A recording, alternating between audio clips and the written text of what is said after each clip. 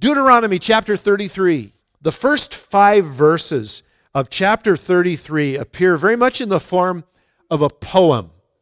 And I have to tell you here, before we get into these verses and before we read them, that they convey to us some very difficult uh, Hebrew translation. Um, so we're going to do our best here to kind of work through this, but I'm, I'm aware that in some cases, if you have a different translation than the one I'm reading, you may have a meaning here that is quite different than the one the ESV conveys, and we're going to look at that and see why, hopefully.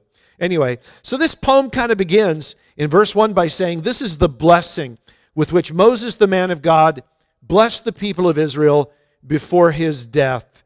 And, he, and, and by the way, this tells us right here that the last part of Deuteronomy was obviously not written by Moses. It goes on to talk about the things he did prior to his death, and then it will actually cover his death and his burial and things like that. And so, whether this was written by Joshua or whether this was written by someone else, um, we don't know for certain.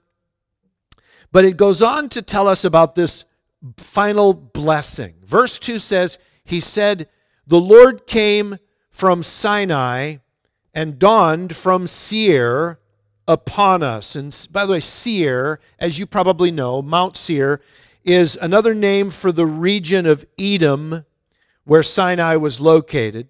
He goes on to say, He shone forth from Mount Paran. He came from the ten thousands of holy ones. By the way, the inclusion of the word the seems kind of unnecessarily cumbersome here. Let me show you how the New American Standard Bible uh, puts this, and he came from the midst of 10,000 holy ones. Frankly, a little bit, I think, easier to understand. With flaming fire at or in his right hand. Now, verses 3, 4, and 5, these are particularly challenging. It says, Yes, he loved his people. All his holy ones were in his hand. So they followed in your steps, receiving direction from you. Notice the, the, the, the it changes from he to you. And then in verse 4, when Moses commanded us a law as a possession for the assembly of Jacob, thus the Lord became king in Jeshurun.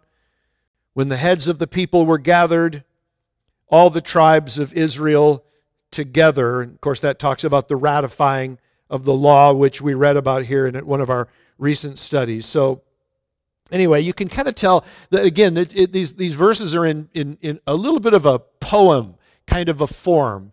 And um, it's interesting that, that things change as far as the target, whether we're talking about someone who says he, referring to Moses, and then, and then thus it, changing as we go through to your and you uh, in the very same verse. So kind of challenging to read, but as we begin verse 6, we're going to see how Moses speaks a word of blessing over the tribes of Israel. And uh, I'm going to tell you ahead of time there's a strange omission. There's nothing said of the tribe of Simeon, it's just not included in there. One of the reasons for this could be because Simeon existed within the confines of Judah.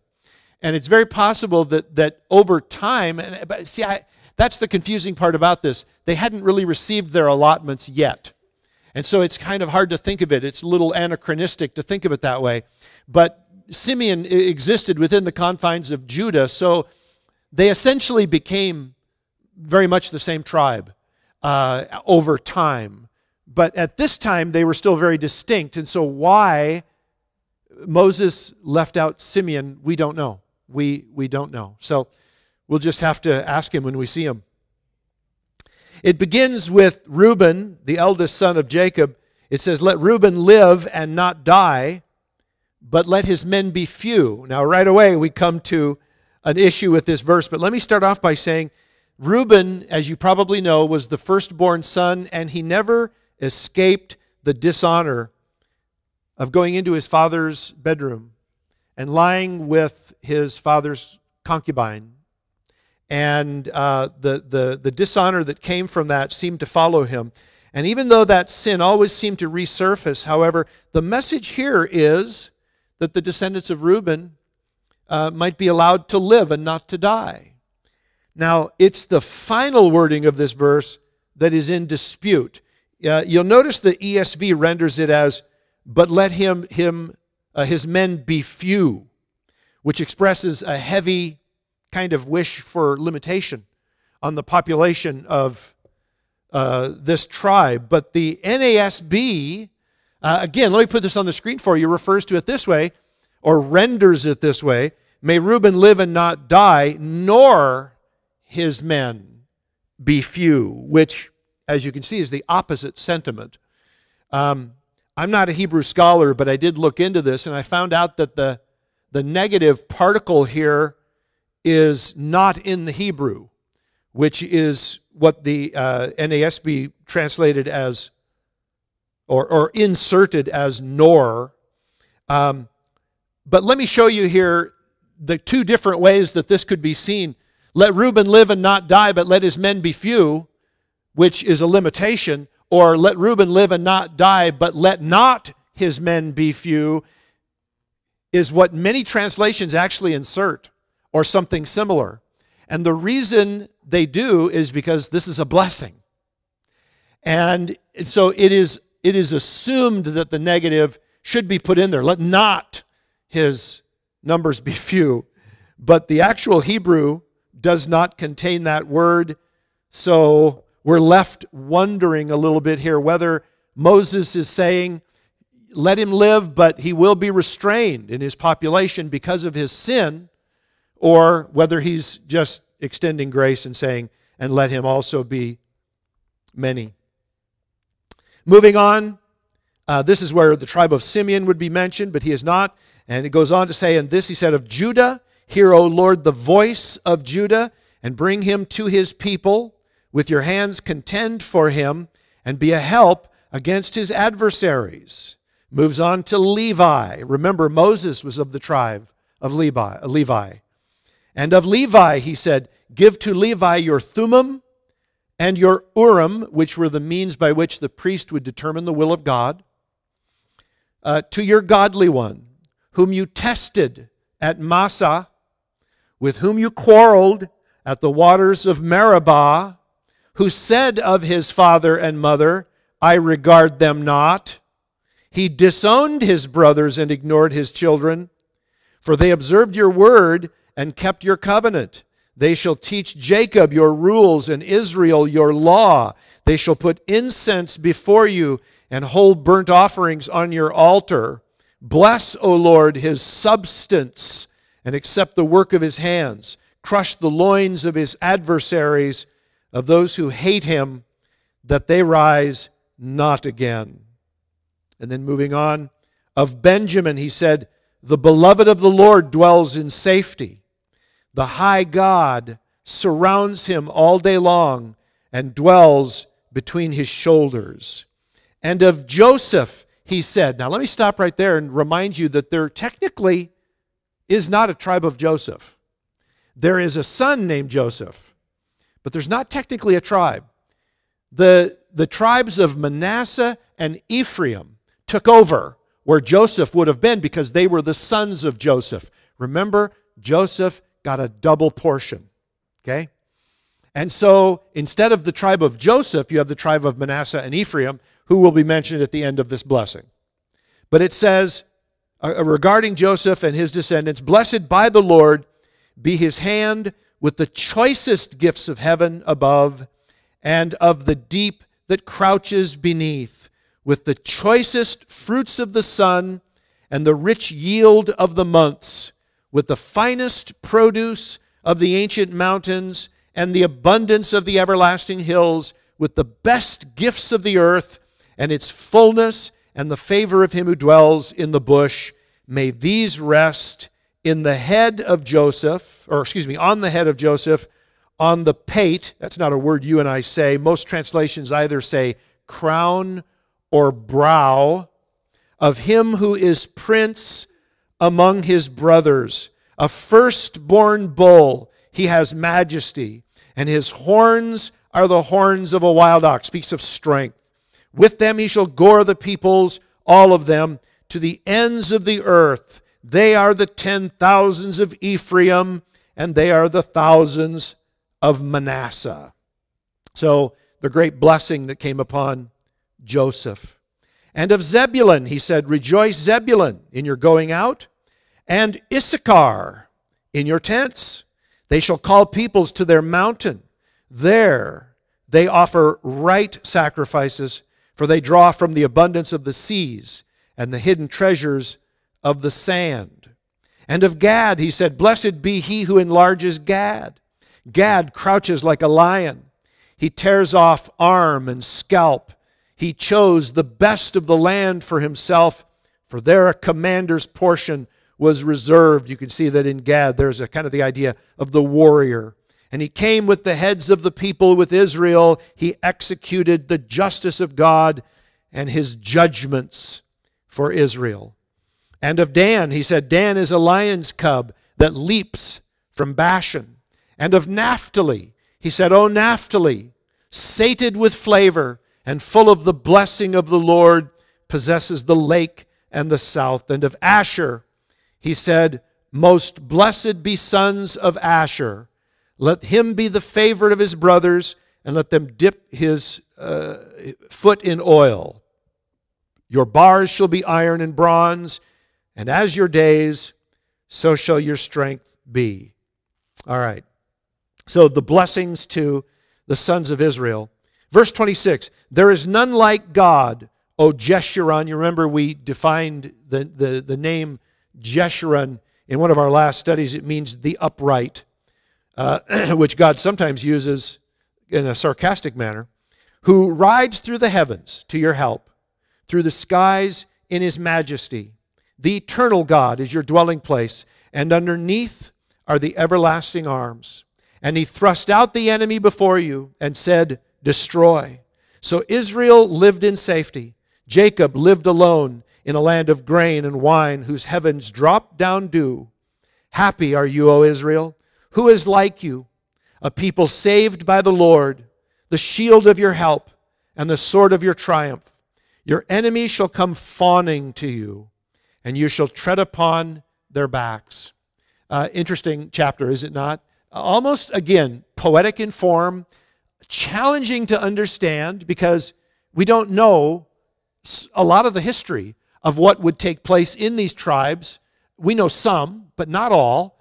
Um, we usually know what we know based on the characters who came out and who played a prominent role, but in some cases, they didn't. And so we just take kind of at, at, face value some of the things that are said here. But the, it, this chapter ends with the statement um, Happy are you, O Israel, uh, who is like a people saved by the Lord. Who is like Israel? And that is an, a, a fascinating statement in and of itself because it conjures to mind just so much. Who's like Israel? Who's like the people of Israel? Well, in one sense, we all are, because Israel was no different from us from the standpoint of being human beings, sinful, rebellious, hard hearted, stubborn, you know, can you relate? Um, so, in that sense, there's really very little difference. I see a lot of myself there. But on the other hand, there is a position that Israel has among the nations of the world that no other nation shares. And that is receiving the law, being God's chosen people, being that chosen nation uh, on, the, on the face of the earth. Um, it's amazing. And God's not through with Israel, as we've said many times.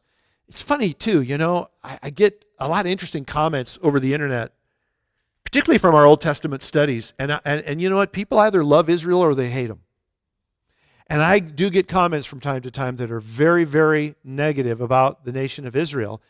Um, and there's a hatred and there's a not not I'll have to say this, not among born again believers. I think that there's kind of a natural tendency that we have once we understand the, the crux of God's word and God's heart toward Israel, it's very difficult, I mean, practically impossible for us to take any other view than to see them as God sees them. But there are many people who don't see them that way, and actually see them in a very, very negative light. And, and I do get very mean spirited comments uh, about Israel from time to time, and they remain to this day a very controversial nation. Isn't it interesting? Isn't it interesting, you guys? It's this little sliver of land. I mean, you look at it in the scope of the world, and it's this little nothing. It's this little sliver that's like uh, insignificant, you know? And yet, how much attention and political pressure and is, is placed upon the, the, the people who live in this small little sliver of land. And you're kind of like, what's the big deal? If I were not a believer, I would say, whenever something came up on the news regarding Israel, I would say, stop wasting my time if I was an unbeliever. And I would, I would want to question news people and say, why are you talking about this little sliver of land in the Middle East? Who cares? I mean, who cares, right? Now, as a believer, I understand. This is the focal point of the purpose, plan, and will of God. Because not only did God have this special relationship with Israel, out of this, out of this favored nation came the Messiah who was prophesied even during the time of Abraham that all the nations of the world would be blessed through him. I, I get it. As a believer, I get it. And, and I could I could stand to probably ignore the rest of news and just talk about Israel as a believer. I'm fascinated by Israel. I'm fascinated by it because of the prominent place it holds in the Word of God. And as a student of the Word of God, I can't help but be enamored by Israel because so much of God's prophetic timetable centers on the nation of Israel. And so much prophecy is yet to be fulfilled related the nation of Israel that it's just fascinating, you know. But like I said, if I were an unbeliever, I would say, hey, stop wasting my time. This is ridiculous. Who cares? I mean, you know, who cares? I would probably say, just let these guys fight it out and kill each other. You know, that's probably what I would say as an unbeliever. I would say just let's just get on with important news about the economy and we just, you know, and and the the the desire and effort to be happy. Because it seems like Israel has nothing to do with my effort and desire to be happy. But as a believer, I understand that it has everything to do with God's redemptive program and his prophetic timetable Fascinating. Deuteronomy 34, short chapter. Then Moses went up from the plains of Moab to Mount Nebo, to the top of Pisgah. Now, Pisgah is usually not a proper name. It's, it's, it's, it can be, but it's usually not. It usually just means like a bluff or a, a, a, a high area. But it tells us here it is opposite Jericho. So we have a good idea where all this is. I mean, we know where Mount Nebo is, and we know opposite ancient Jericho. And the Lord showed him all the land, Gilead as far as Dan, all Naphtali, the land of Ephraim and Manasseh, uh, all the land of Judah, as far as the western sea, the Negeb, and the plain, that is, the valley of Jericho, the city of palm trees, as far as Zoar, and the Lord said to him, This is the land which I swore to Abraham, to Isaac, and to Jacob. I will give it to your offspring. I have let you see it with your eyes, but you shall not go over there.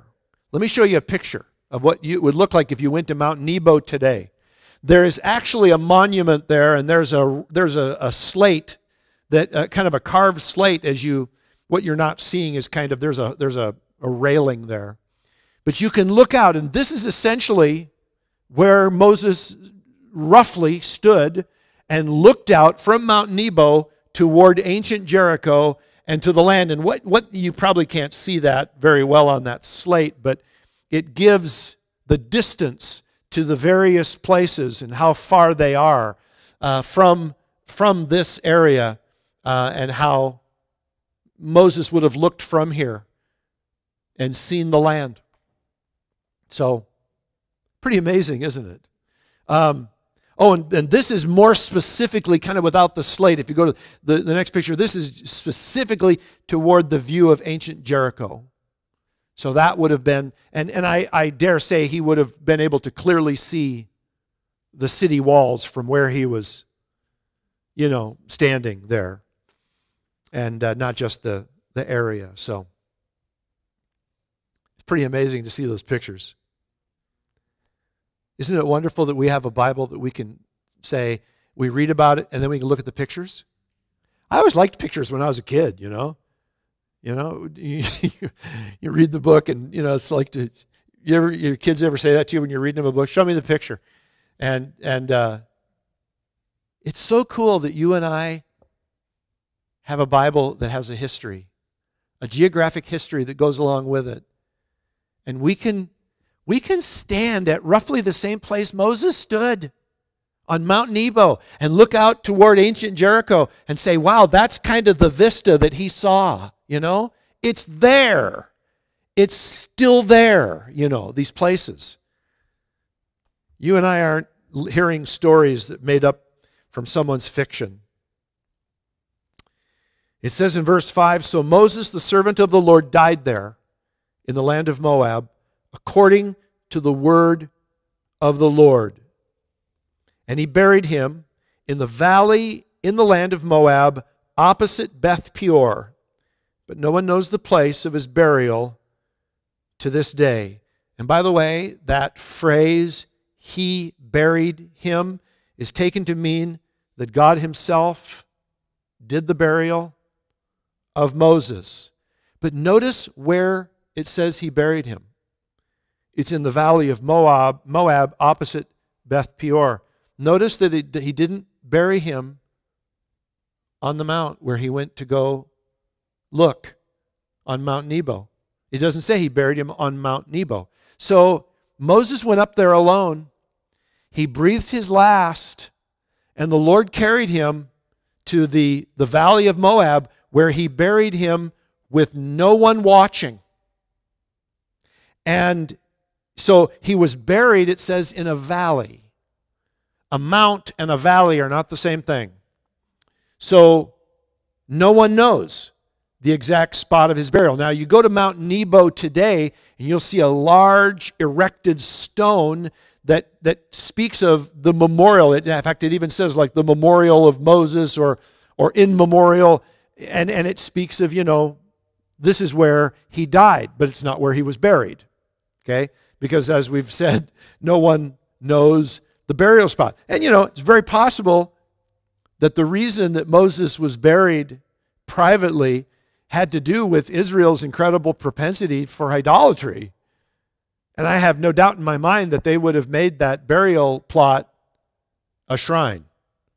You know, I mean, this is Moses. This is where Moses was buried, you know. And um, so the Lord obviously didn't want that to happen. And so he himself buried Moses. That's crazy, isn't it? Isn't it amazing? Moses was 120 years old when he died, just a youngster. By the way, you know, you can, you can take Moses' life and you can divide it into three 40 year groupings, right? You've got 40 years in Egypt. You've got 40 years in Midian, basically herding sheep and goats and stuff like that. And then you have 40 years with Israel in the wilderness. And you come to his 120 years. Um, how amazing, though, to have your life divided so evenly into three particular groupings. Um, it says here that his eyes were undimmed and his vigor unabated, which is to say to you and I, that Moses didn't die because he got sick. Or he, he, didn't, he didn't even technically die because his body gave out. He says his strength was unabated. He died because his task was done, his task was completed. That's why. And we're told that the people of Israel wept for Moses in the plains of Moab 30 days. So they observed an entire month of mourning for Moses. And then we're told that the days of weeping and mourning for Moses had ended. And Joshua the son of Nun was full of the spirit of wisdom, for Moses had laid his hands on him. So the people of Israel obeyed him and did as the Lord had commanded Moses. And there has not arisen a prophet since in Israel like Moses, whom the Lord knew face to face. None like him, for all the signs and wonders that the Lord sent him to do in the land of Egypt, to Pharaoh, and to all his servants, and to all his land, and for all the mighty power and all the great deeds of terror that Moses did in the sight of all Israel. The life of Moses, you know, as we kind of complete this study of Deuteronomy, the life of Moses is a truly amazing life, a truly amazing man, a man who the Bible says here knew God face to face. Now, again, we know that that doesn't mean he saw the unbridled glory of God. We know that because we know that Moses asked to see God in his unbridled glory and he was declined, he was turned down. And, and the reason is, is because these bodies of ours are not created to see God in His glory. You and I can't do that. You know, people will say sometimes, I wish God would just appear to me. No, you don't. Because you wouldn't be around to talk about it afterward. Um, Moses sought that kind of vision, that kind of understanding of God. Let me see your glory, he said. Let me see your face. And, and, and God said, No, no man may see my face and live. And yet, it speaks here in this passage of no man like Moses, whom the Lord knew face to face. That is a, a, a statement that refers to intimacy. It means that there was nothing between them. Typically, when God speaks to people, it's through dreams, and a dream is a medium, or a vision. A vision, even, is a medium. Um, or, you know, through prophets through, you know, God speaks through this other individual. But, or in the cases of the priests, we know that the Urim and the Thummim were used to determine the will of God. But it says of Moses, he knew God face to face. And um, so there was a, there was a, an intimacy and a closeness that Moses had with the Lord that no other individual had to that degree. Even someone like David. Um, Moses had a unique sort of a relationship with God. Can I suggest something to you, though, this evening? May I suggest to you that what you have with God is greater still, is greater than what Moses had. Because as much as Moses loved to commune with the Spirit of the living God, that very Spirit dwells inside of you and me. You know, speaking of John the Baptist, Jesus said a fascinating thing in the Gospel according to Luke. He said this He said, You know, among those who've been raised up among the sons of men, no one is greater than John. And yet, he said, the least in the kingdom of God is greater than he. So there's a unique, even, even, a, even a greater and more unique relationship that you and I have. And Christians, let's never take that for granted. Let's never look upon that. Let, you know, we look at people like Moses, we're like, wow. Moses would look upon you and say, wow the very Spirit of the living God indwells you. He has placed His name in you, His power at your disposal. You know? Um, and as, as much as Moses struggled to get the nation of Israel to understand their birthright as a, a, a, special nation. What the, what the New Testament says of you and I is that we, the body of Christ, are a holy people. A holy people unto God. And that's, that's, that's what Moses longed for and never really ever saw. Never ever saw that in, in his lifetime in the nation of Israel. He never saw the reality of a people that were truly set apart unto God. Even as even before his death, he said to them, You're a stiff-necked people and you're always going astray. You've gone astray all during my lifetime. I can't even imagine what you guys are going to do when I leave. That's the kind of thing he left with. That was the kind of understanding that he had. And how disappointing, you know, that could very well be. And yet, you and I, the holiness, the righteousness that God has bestowed, imputed into our lives. Moses would look back. Moses would look, or for him, he'd have to look ahead, but he would look upon your life and say, Wow, what a blessing, what a privilege, what a privilege you have. No one has to teach you saying, Know the Lord, for you all know him. You have that intimacy with, with God because he lives inside of you. So, pretty amazing stuff.